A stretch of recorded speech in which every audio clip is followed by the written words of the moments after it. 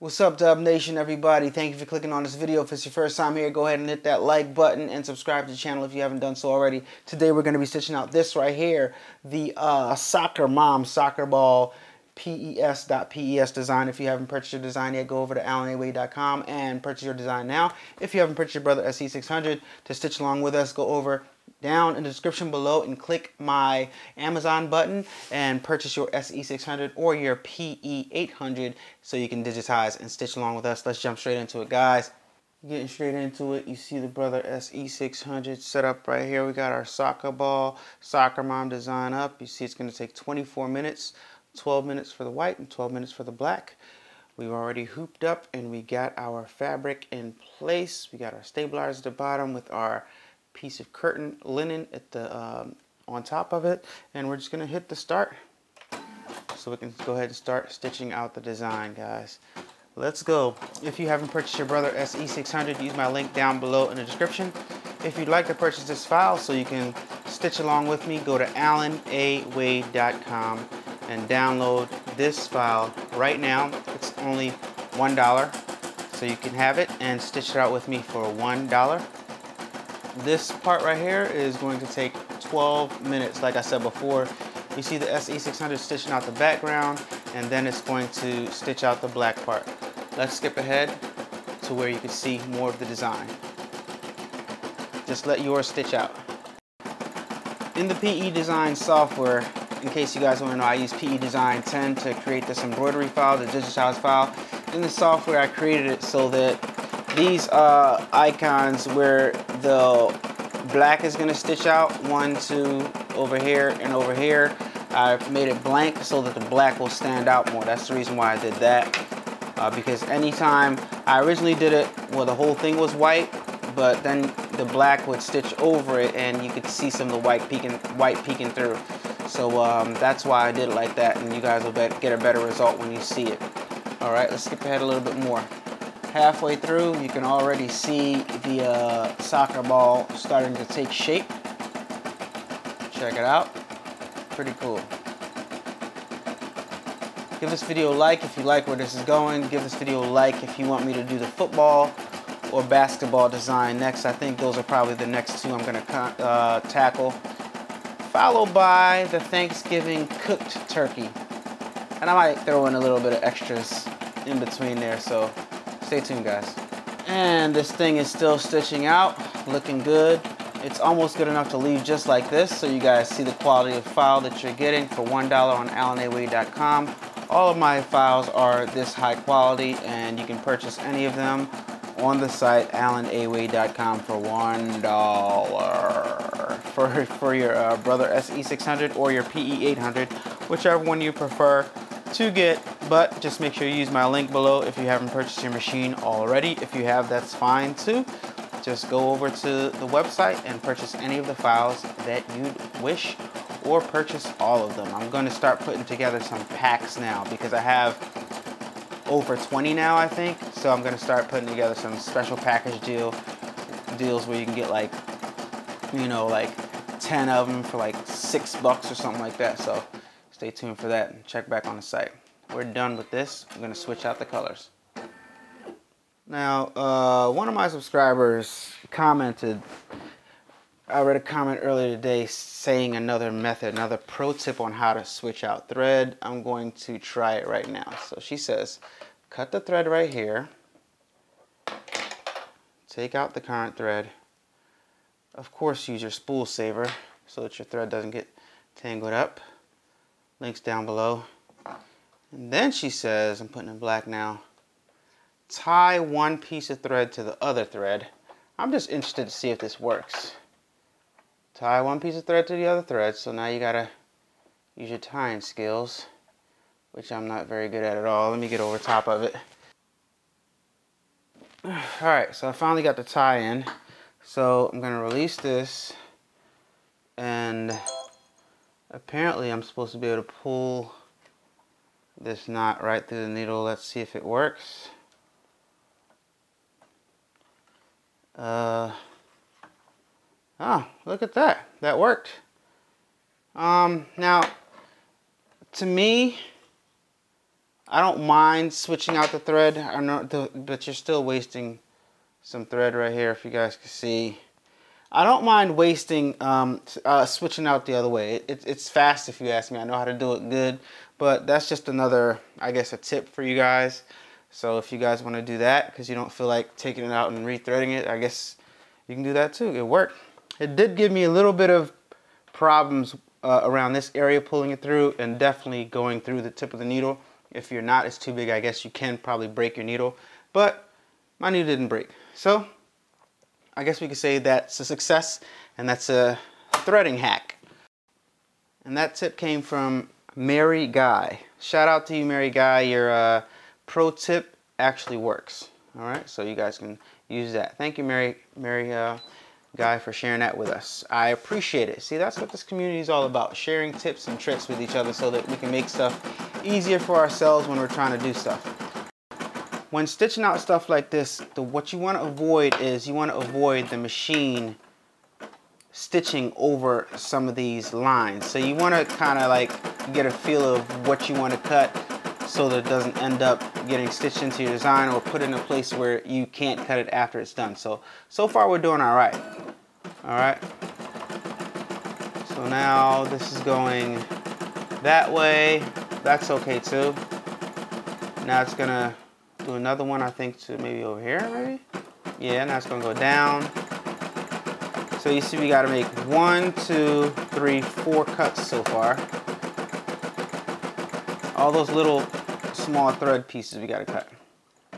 Mm -hmm. Now it's gonna go from here to there. Then I believe here to here, I think. We'll see. This is the part where you follow along. This is why I make these videos. Alright.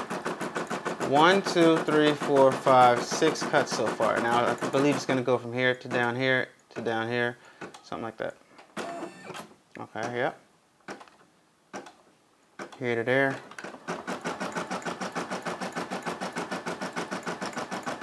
And then I think it's going to go here and then here. When it gets over here, I'll stop it. Oh. All right, did that. It's gonna go in the corner.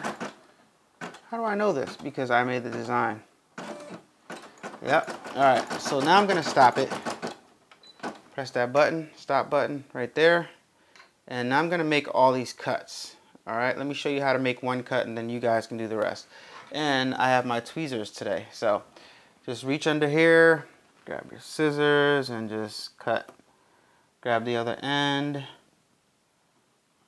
The other end if you have tweezers. If not, you can use your fingers. Grab the other end and cut. See? Nice and clean. Cut. With the tweezers. Cut nice and clean. Cuts off cleaner when you have tweezers because you can like really get a good handle on it. Your fingers can't. As long as you have a firm grip with the tweezers. Now this is just cleaning it up. These little white ones right here that go over the white part, you can actually leave because we're not actually stitching anything else over the white areas. But I'm just cleaning up the design so you guys can see see it start to take shape. Alright. Boom, get in there. Trim that get under here. So I'm just gonna finish finish cleaning this up and I'll be right back. All right, we're all cut up. And now, see this right here? I can leave that. I'll show you why. It's gonna stitch right over it anyway, so you can leave that and let the machine stitch right over it because that's gonna be a black part right there. So gotta be stitch aware. Stitch awareness is what we're gonna call this. Stitch awareness. All right, so just let let it do its thing and I'll be right back.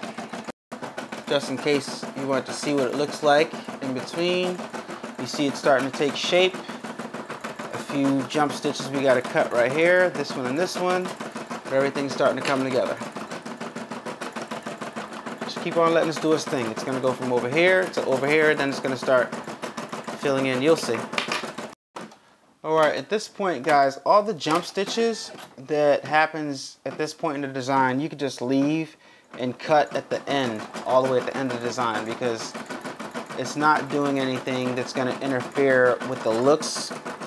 It is going to stitch over this part and over this part, but and if you want to, you can cut them right now, but it's not necessary. You can just, I recommend not walking away from the machine while it's stitching out, but technically you can like walk away from the machine and let it finish out the design and come back and then stitch everything out because you can basically see the entire soccer ball now. You know, it's just gonna do an outline. So you could actually stop it right here if you want to and be complete your design. Right, right here, you press the stop button right here and you could actually just cut it and leave it like this if you wanted to, you know, but we're gonna just go ahead and let it finish out the design. All right, actually, I lied. No, this part right here, you definitely want to cut this. You don't want to, actually you don't, definitely, you don't, you know, but you, you, because it's going to stitch out here, here, here. And that would make a loose thread right here. See, because it went here to here, and we got a loose thread. So when it stitches out from here to here, here, that loose thread is going to be in the middle, and then you're going to have to cut a little small one. So I recommend just cutting this. I do recommend just cutting that right here.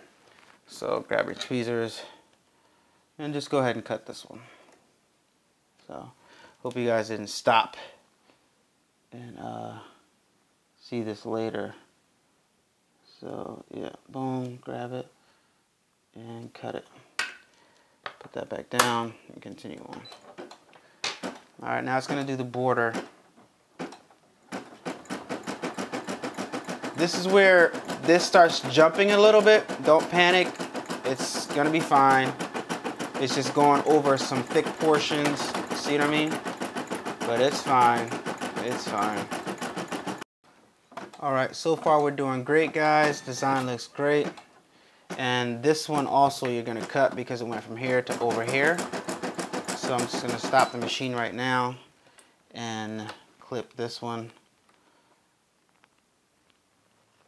Clip that one you guys will get the hang of where you need to make the clips because I don't want this to stitch. It's going to go around this perimeter and come down here and I don't want that little tangle to be intertwined in the design and then I have to cut something really really small at the end. That's why I'm doing that. And after it does this, it's going to go to here and then it's going to go all the way around. You guys will see. All the way around the design. Alright, watch the jump. I should make it start just right there instead of doing this little silly jump, but it's okay. And I'm just gonna go ahead and let it stitch over that. It's not a big deal. It's gonna cover that up anyway. So it's just going around the design. And when it gets to the edges that it joins another line, it's gonna jump a little bit. Watch. Maybe not so much, but it will. And um, on, on some parts, some areas it will, but not a big deal. And it approaches the end and finishes up, guys, and we are all done with the design. So let us clean it up and see how it came out. Cut all of our threads. One swipe underneath, cut all our threads and see what's up. See all the threads we got to cut here, all the loose threads. Easy peasy. Just trim along trim along, trim along, cut the other ends, and then we are done. And here's our final, guys. Looks like a soccer ball, right? Boom, boom, boom, boom. Poof. Looks like a soccer ball. Cool. AllanAWade.com, $1, buy your soccer ball and embroider it with your family. Make it a family activity right now. As always, Dub Nation, I'd like to thank you guys for watching and joining me today. It's always fun making videos and showing you guys what interesting and cool designs I can come up with on the Brother SE600 and making them available to you at AllanAWade.com so you guys can stitch along with me. It's uh, very, very dope to read you guys' comment and to learn and grow with each other, guys. Continue doing so, and I continue. Uh, I'll continue to make these videos, guys. It's my pleasure talking to you guys today, and I'll talk to you guys on the next one. King Allan Alexander on all social medias. Well, AW Productions on Instagram, A-Dubb Productions on Facebook. Follow me there, and King A-Dubb on Facebook, follow that page also. Don't forget to subscribe if it's your first time here, and I'll see you guys on the next one. It's your boy, Allan Wade. Peace. I'm out. Turn up that, crank it up. I listen to the rest when you're rocking with the best, baby.